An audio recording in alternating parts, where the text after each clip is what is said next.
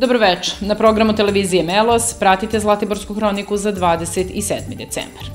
Direktor privrednog društva Zlatiborski Eko Agrar Marko Marić kaže, rezimirajući rad ovog preduzeća u 2022. godini, da može sa pravom reći da je za njih izuzetno uspešna godina. Potvrdu za to imaju u vidu priznanja Akademije inženjerskih nauka Srbije, koja rad Zlatiborskog Eko Agrarga ističe kao primer dobre prakse. Zlatiborski ekoagrar je program mera posticaja poljoprivrednicima u 2022. godini realizovao na adekvatan način.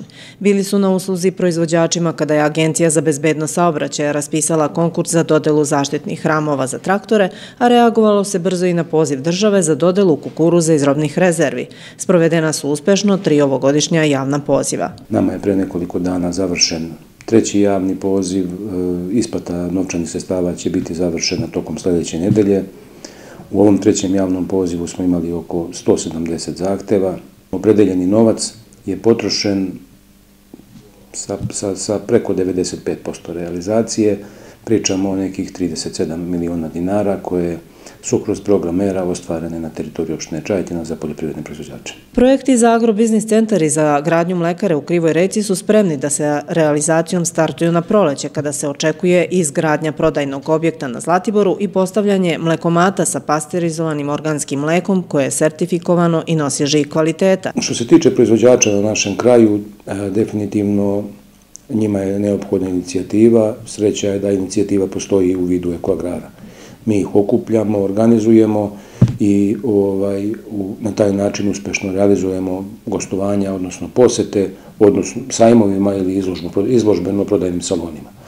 Tako da ovaj, u prethodnoj godini smo imali nekoliko smotri i svi ljudi koji su pristovali tome su bili izuzetno zadovoljni. Ove jeseni Eko Agrar je uradio prva ispitivanja hemijskog sastava kabaste i zrnaste hrane na poljoprivrednim gazdinstvima pomoću aparata X-NIR, jedinog ove vrste u Srbiji, kako bi poljoprivrednu proizvodnju podigli na viši nivo. Mi smo izvukli osnovne neke parametre i uradili neke prve analize, što nam je proizvođač e, koji je inače iz Italije naložio da uradimo da bi ovaj baždarenje koje opet obavljaju oni kao prodavci ovoga, ovaj, mogli da urade u toku zime. Tako da on će tek na proleće biti pušten u upotrebu i koristit će se na pravi način da povećamo količine te proizvedene ovaj, kabaste hrane, jer je to jedan od recepata za, za dobre, odnosno, dobre bilanse, odnosno za poslovni uspeh na gazdinstvima. Aktivnosti ekoagrara pod pokroviteljstvom opštine Čajetina bili su tema na godišnjoj skupštini Akademije inženjerskih nauka Srbije kao primer dobre prakse. Ekoagrar se predstavio kroz dva naučna rada poziv da budemo na tom skupu i prisustvo tome je prosto dokaz da, da radimo dobro i da radimo ono što treba. Agrotehnički centar se pokazao i tekako bitan pružalac 32 usluge poljoprivredne mehanizacije. U ovoj godini stigao je veliki broj zahteva od strane poljoprivrednika za ove usluge, ali nažalost nisu uspeli da izađu svima u susret. To će, kaže Marić, biti dobra smernica za plan za narednu godinu i nabavke. Mehanizacija agrotehničkog centra neće mirovati ni zimus kada će biti angažovana na čišćenju seoskih puteva.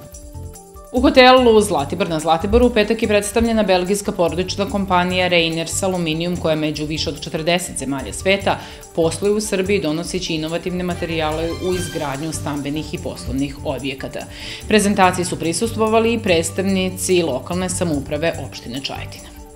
Reiners Aluminium je vodeća evropska kompanija specijalizovana za razvoj i marketing inovativnih i održivih aluminijumskih rešenja za prozore, vrata i fasade. Zajedno sa svojim partnerima fokusira se na stvaranje energetski efikasnih, odgovorno napravljenih proizvoda. Kompanija postoji skoro 60 godina. Dolazi iz Belgije.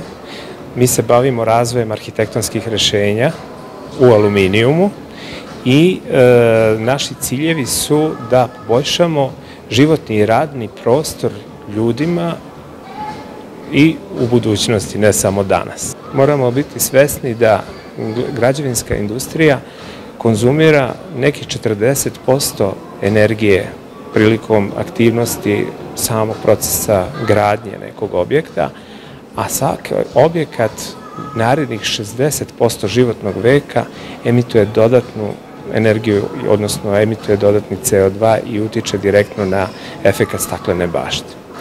Naša kompanija želi da u razvoju, u startu i u razvoju projekta uključi sve stvari i radi na edukaciji ljudi i deljenju naših saznanja globalnih sa našim partnerima da bismo postigli ove ciljeve i to radimo prilično uspešno.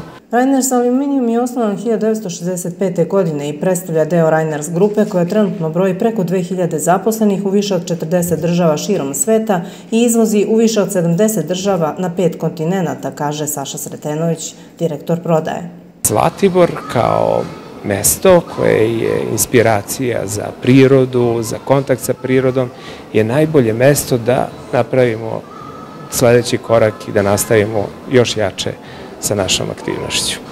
Cilj kompanije je da poveća vrednost grada i poboljša životno i radno okruženje ljudi, a to se postiže obezveđivanjem inovativnih i održivih aluminijumskih rešenja za omotač zgrade. Sam aluminijum čini nekih 70% kompletnog projekta i jedna od e, dobrih stvari tog materijala koju ljudi možda manje znaju, to je da za reciklažu aluminijuma je potrebno samo 10% energije u odnosu na onu energiju koja je potrebna da stvorite sam proizvod. Negovanje partnerskih odnosa je u osnovi onoga što Reiners Aluminium radi, naglasio je Sretenović, gde kompanija nastoji da ispuni očekivanja svojih partnera širom sveta na fleksibilan i proaktivan način. Biblioteka Ljubiša Rađenić je kalendarsku godinu završila promocijom jedne zanimljive knjige po kojoj će između ostalog čitalačka publika imati razloga sa radošću da iščekuje sljedeće dešavanja. Reč je o knjizi Mudre misli ruskih klasika.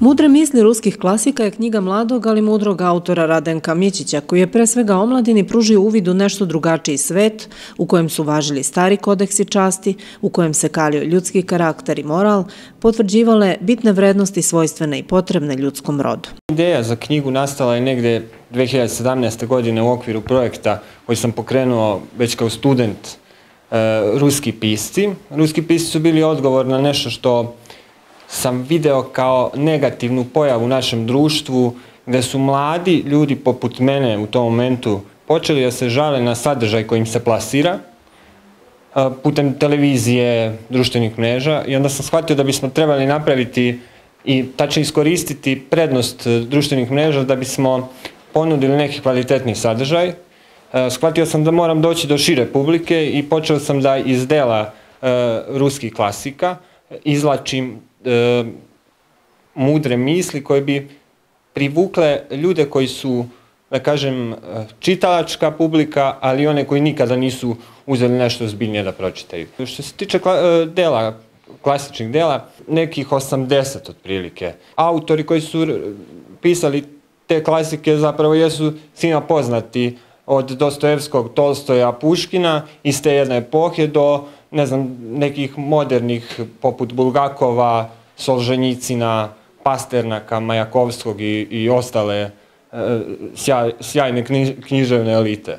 Svoju, kako kaže Mićić, malu revoluciju počeo je saradnjom sa ustanovama kulture koje su rado podržale njegovu ideju, pa je mladima preko društvenih mreža delio besplatne karte za pozorišne predstave, književna ostvorenja i sl.